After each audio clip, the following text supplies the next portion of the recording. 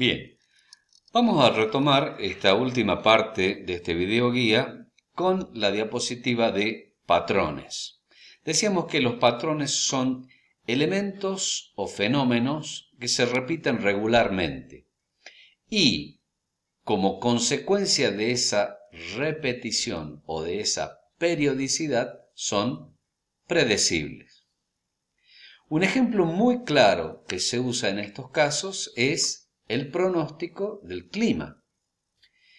El clima es el estado medio de la atmósfera y una de las variables más importantes que tiene la atmósfera son los vientos. Los vientos son movimientos de masas de aire que tienen un origen, tienen una dirección y tienen una velocidad.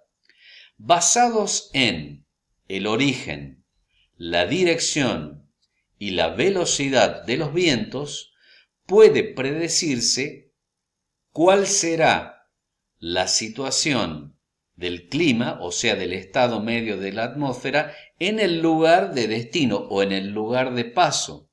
Normalmente ustedes escuchan la expresión vientos fuertes del sector sudoeste avanzando a 45 kilómetros por hora. Eso quiere decir que está viniendo hacia Catamarca un viento desde La Rioja, por ejemplo, y va a llegar en tanto tiempo, porque su velocidad es de 45 kilómetros por hora.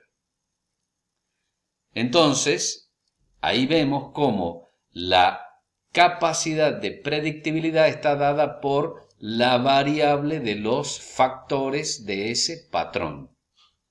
Acá podemos ver otros patrones de otra naturaleza. Son patrones de estructuras naturales. A la izquierda, acá, vemos el patrón de un cristal de hielo.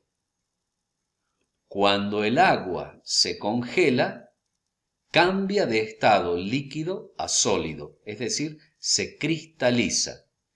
Y en ese punto que está aproximadamente a cero grados, a la altura del nivel del mar, se produce la interfase, o sea, el cambio de estado de líquido a sólido.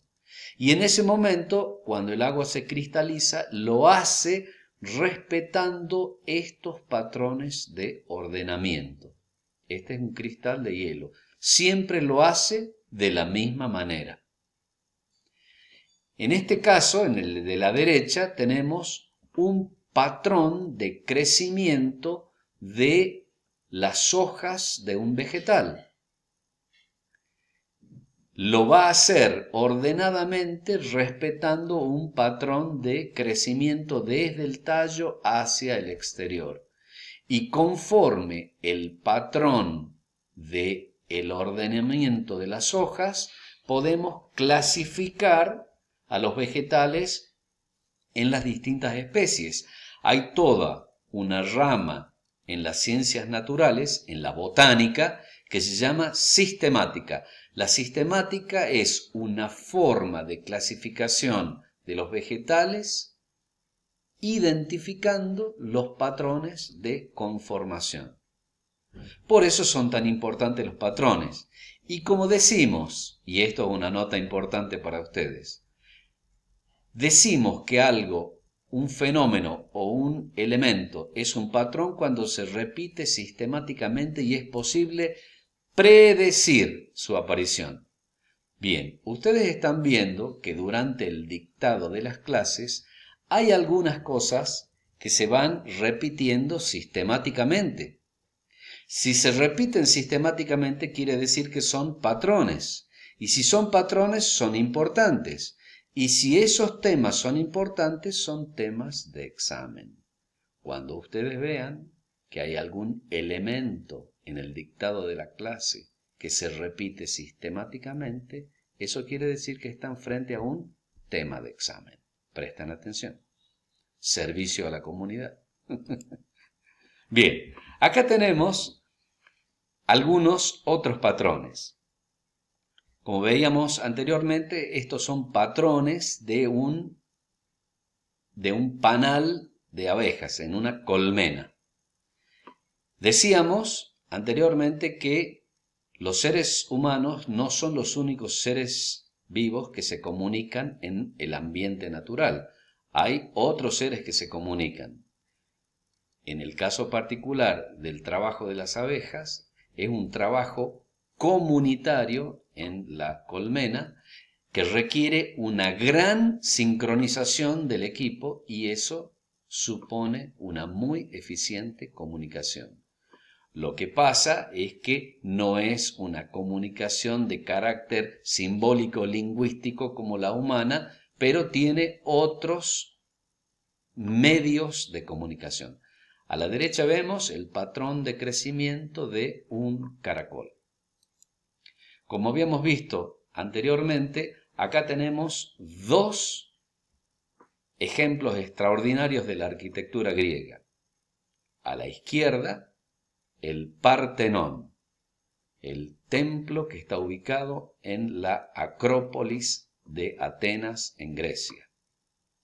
A la derecha vemos el templo de Poseidón, que está construido al sur de Italia, ambos construidos 500 años antes de Cristo, al sur de Italia, frente al mar Tirreno, en una localidad que se llama Pestum, se escribe Paestum, es el templo de Poseidón en Pestum.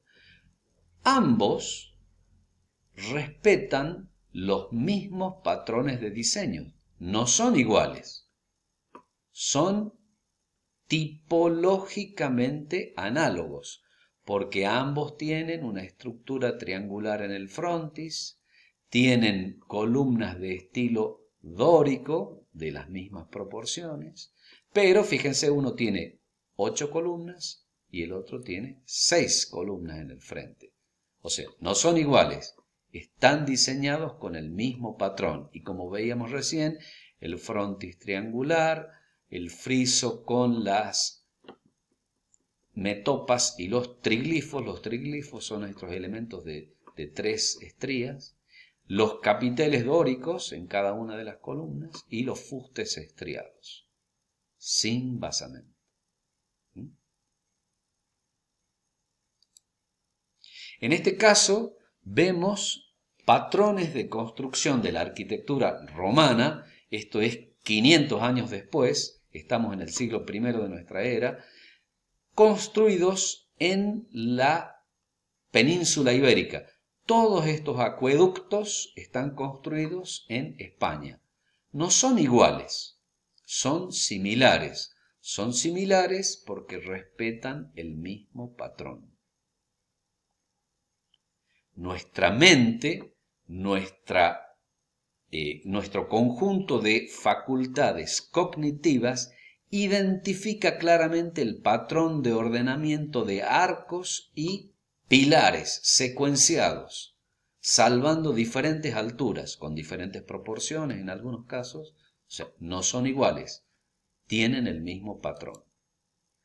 Acá vemos otro caso interesante, son los planos de cinco ciudades diferentes, construidas en diferentes épocas, pero todas con un patrón similar. A la izquierda vemos, y después lo desarrollaremos adecuadamente, la ciudad de Timgad, construida por el imperio romano, por el ejército romano, primero como un campamento y después se transformó en una ciudad, construida en el norte de África. Eh, actualmente el, lugar se denomina Argelia. Y ustedes ven el patrón de la cuadrícula y el foro con el cardo y el decumano. Después estos temas los desarrollaremos con mayor profundidad. Y la plaza central que sería el foro. Aquí vemos ya construidas, estas son ciudades del norte argentino fundadas en el siglo XVI, en el 1500. Esta es la más antigua de todas, es la ciudad de Santiago del Estero, madre de ciudades en la Argentina. Identifican claramente la matriz reticular de la planta. Lo mismo sucede en Tucumán. Aquí está la Plaza Independencia en Tucumán, este es el Parque 9 de Julio. Lo mismo sucede en la ciudad de Salta, la plaza principal, y acá está el Monte San Bernardo. Y esta, como ya habrán advertido, es la ciudad de Catamarca. Las cuatro avenidas, como si fueran las cuatro murallas del campamento en Tingat, la avenida Belgrano, la avenida Alem, la avenida Güemes y la avenida Virgen del Valle, que contienen el casco fundacional de las 11 por 11 manzanas que tiene nuestra ciudad. Hemos estado hablando de patrones y acá vamos a introducirnos muy este, superficialmente en un tema que desarrollaremos profundamente luego. El arquitecto Kevin Lynch, un arquitecto inglés, en la década del, del 60, propone los patrones arquitectónicos. Sostiene que la gente en situaciones urbanas se orienta mediante mapas mentales que tiene de la ciudad. No había GPS, no había Google Maps, no, había nada. La gente mentalmente construía su mapa. Y ese mapa mental, muy claro, es necesario para evitar el miedo a la desorientación. Y entonces Kevin Lynch propone que ese mapa mental está compuesto por cinco elementos, por cinco patrones. Las sendas, los nodos, los hitos, los bordes y los barrios. Todos estos elementos encontramos claramente identificados en nuestras ciudades. Las sendas son las calles, los nodos son las intersecciones de alguna calle en particular, por ejemplo, la intersección, como veíamos el caso de dos avenidas, Virgen del Valle y Belgrano, un, nodo importante, son los hitos que pueden ser edificios o marcas, como se dice en inglés en el terreno, landmark. Los bordes, que son los límites, y los barrios, los barrios. Kevin Lynch los propone inclusive de distintas escalas. Las sendas pueden ser autopistas o pueden ser senderos peatonales. Los bordes pueden ser eh, los parques o pueden ser las avenidas también. Los distritos pueden ser grandes distritos con edificios en altura, como los distritos financieros, digamos, o puede ser un barrio. Podemos tener los hitos como grandes edificios o como plazas con algún elemento indicativo en el medio. Y finalmente las, este, los, los hitos y los nodos. Estos elementos los desarrollaremos apropiadamente más adelante. Pero lo importante es saber que estos elementos que identifica Kevin Lynch se van a comportar como interfaces. Recién veíamos en el caso del cristal de hielo que la interfase es el punto donde un elemento cambia de estado, el agua de líquido a sólido. Bueno, en estos patrones, sobre todo en las sendas y en los bordes, la situación arquitectónico-urbana es el lugar de cambio de estado. Son muy importantes porque en estos lugares se cambia de estado. Son interfaces. Como vamos a desarrollar en la clase que viene, es importante tomar conciencia de las interfaces y les anticipo rápidamente un próximo tema. Nuestros sentidos son interfaces con el ambiente. La información que nos viene a través de los sentidos desde el ambiente en el plano de los sentidos cambia de fase cambia de estado, se transforma de, por ejemplo, la visión de una radiación electromagnética en el aspecto, en el, en el, en el rango visible humano, se transforma en una señal eléctrica que llega al cerebro como un estímulo eléctrico. Esto lo vamos a desarrollar convenientemente más adelante.